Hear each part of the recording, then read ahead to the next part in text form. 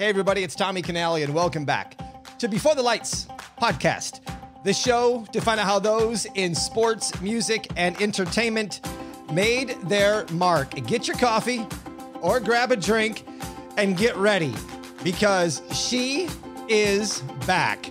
The country sensation with a southern smooth voice that just released a fun, good feeling, easy listening, put a smile on your face EP called Heartbreaker. The one and only Whitney Duncan. Whitney, welcome back to the show. What a heck of a, an entrance there. I love it. How the heck are you now? I'm good. I'm good. I'm just still, you know, just released that EP last Friday, so it hasn't even been a whole week yet. And I'm just still like coming down from the high of releasing new music. It's just so exciting. This last week's been awesome.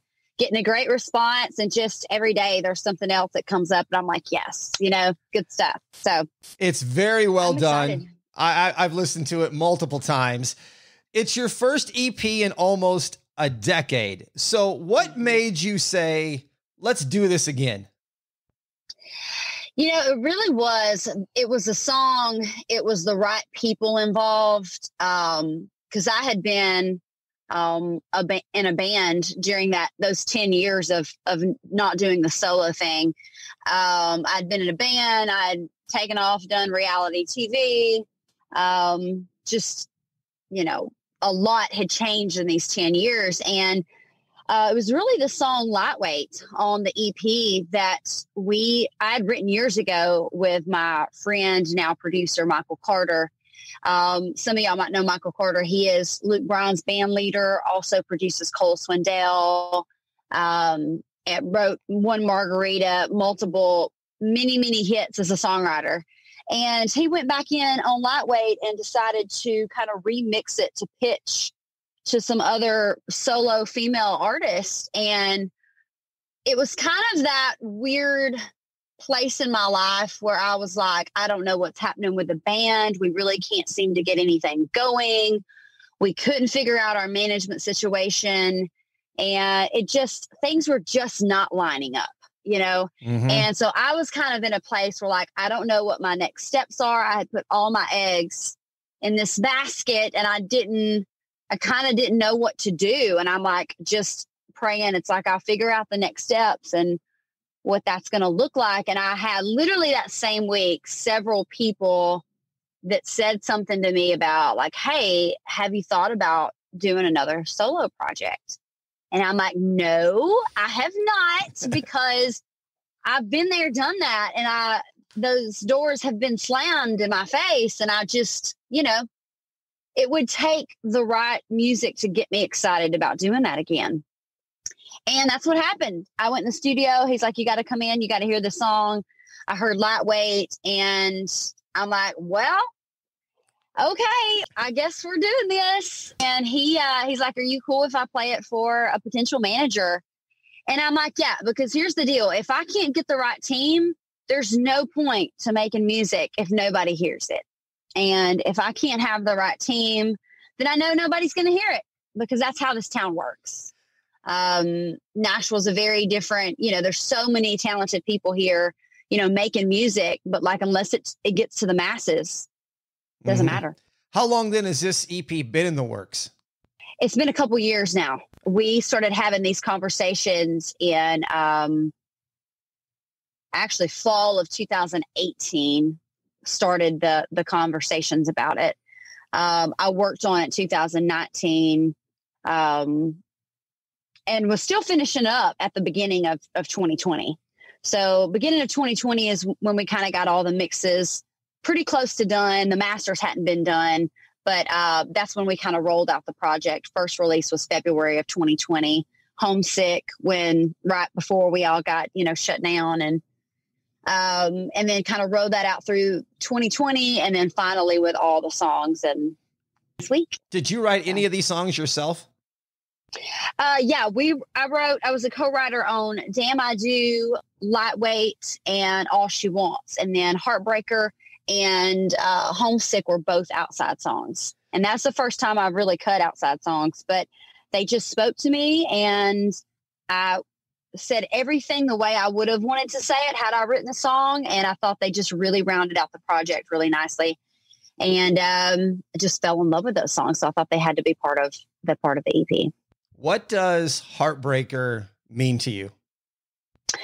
So Heartbreaker, when I first heard it, I think you can kind of interpret it two different ways. Um, so when I heard it first listen, you think like it's a little dangerous. You think it's about a bad boy, but it's really not. Like I listened to it on second listen. I'm like, well, this is exactly how I felt when I met my husband. Like it's just that feeling of like you could break my heart. Like you have that potential because I'm crazy about you. You know, I'm in this.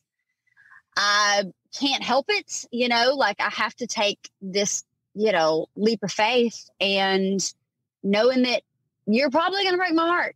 And I mean, even my husband, it all obviously all worked out and we're married, but like, I know he's, he still has that potential for the rest of my life. And so that's how I interpret it as a happily married woman. And I know there's a lot of females out there that can interpret it and like, you know, just making a bad decision, jumping into something when you know it's not going to turn out. And it can be interpreted that way too. Um, so I just like to kind of leave it up to whatever is going on, you know, in other people's lives and how they want to look at it. But that's how I interpret it, interpreted it, and um, and also the music videos coming out in a few weeks, and you'll see how that goes. Awesome.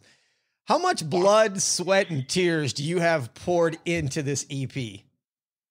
Years. I mean, truly years, and um, it's just from being on the fence and and really kind of scared to do a solo project again and then many many months of praying about it thinking about it listening to songs writing songs i mean it just was i had spent so many years um you know doing a, a band project and and not just thinking about myself but thinking about other people so this project was getting back to me. Like, who am I now as a grown woman?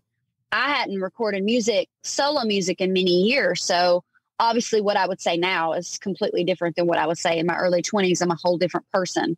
So it was just a lot of mental, you know, thinking about it and just kind of stressing about it, honestly. so yeah, just a lot. So it feels really like a big weight off my shoulders and relief that it's out now. And now it can just do what it's supposed to do. Let's talk about Homesick. It's got a little rock mm-hmm. to it. The lyrics include taking a bubble bath, putting your feet up, got a glass of rose. Yeah. From our last conversation, is some of this about you? Yeah, I mean, honestly, I didn't write that song, but when I heard it, I was like, this is so me. I have to like anybody that knows me knows I love a good long hot bath and bubble bath. Like it's every night. so um, no rose. It's dry January, but um, yeah, I mean that song was so me. And like I said before, before the shutdown, I'm a happily married woman that, yeah, like some days would be like, I wish we just didn't have to go to work. Like, I wish we just had the day together. And you have those feelings of like don't go. And now it's completely different. Like now it's like please go to work. Please can you just go to work? Get out of the house.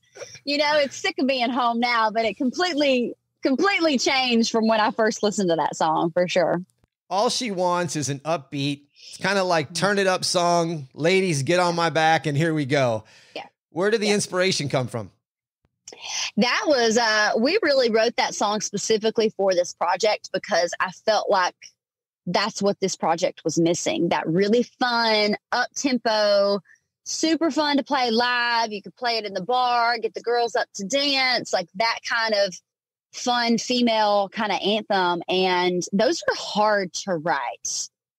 Really hard to write. Like nobody understands like that's one of the hardest songs to write while not being cheesy. So I feel like we did it. You know, I kind of wanted it mixed with a little bit of 90s country female where like it kind of used to tell a story, also mixed with fun, almost Shania esque mm-hmm. feel. That was what we were going for. And I think, I think we did it. You did. You know, I, but it's really that song those people don't understand. Those are the hardest songs to write. A heartfelt ballad is the easiest song to write. Funny enough. I would not have guessed that. So I'm glad you brought that up. Damn, I do. Really solid song. Mm-hmm. It's got a kind of pop to it, almost like she just can't get away from him. Mm-hmm. Talk about that song.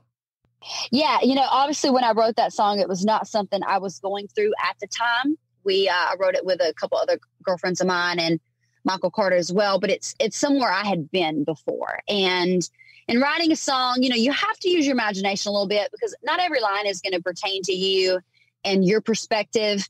Um, but you know, a lot of people have been there and you've been there at some point. So that's kind of where I put myself, I had been in one of those kind of things, you know, many, many, many years ago. Um, and the girls I were writing with were definitely struggling with that at the time. It's like you you don't want this person, but you do, you know, and you hate yourself for wanting them, but that kind of that kind of feeling. So and then going somewhere and seeing them out. Um, I mean, Nashville's a a small big city. So you run into people.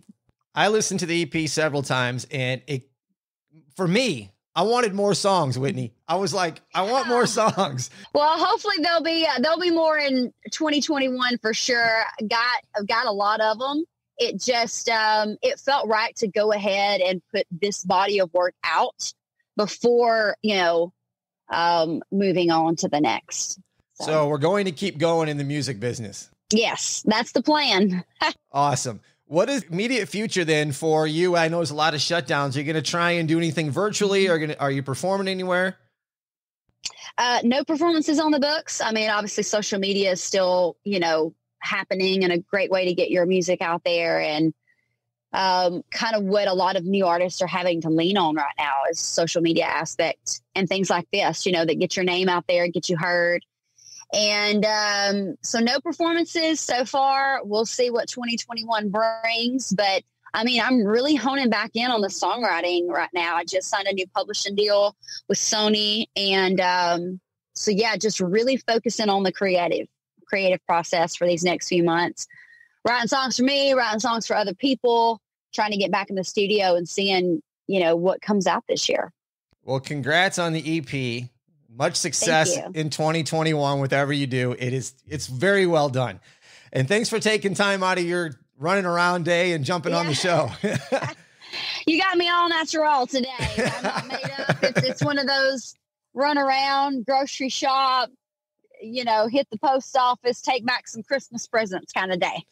Go to the website beforethelightspod.com and I'll have show notes and a link to Heartbreaker there. You can follow us on Instagram at Before the Lights Podcast. Join us on Patreon. Become members of the BTL crew. Go to patreon.com slash before the lights. Thanks for listening to Before the Lights. I'm Tommy Canale. And until next time, everybody, a salute, a chin chin.